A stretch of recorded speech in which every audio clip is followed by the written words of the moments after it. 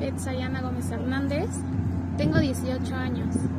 Soy originaria del barrio de San Miguel y represento a la Virgen de la Soledad, que es la etapa creo que un poco muy fuerte de, de María y significa mucha fuerza, muchos sentimientos encontrados, porque pues sabemos que la Virgen, antes de verla como deidad, pues fue mujer, fue mujer y madre que perdió a su hijo.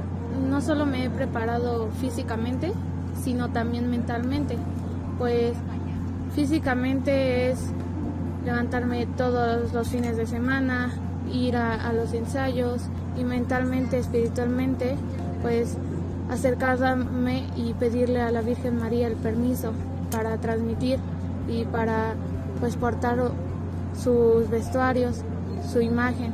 Nada, eh, invito a toda la comunidad eh, mexicana, eh, medios, medios de comunicación gente internacional a que nos sigan en la transmisión. Pero si es oportunidad venir, lo hagan con toda la responsabilidad para que todo esto se lleve con fe y pues de buena manera.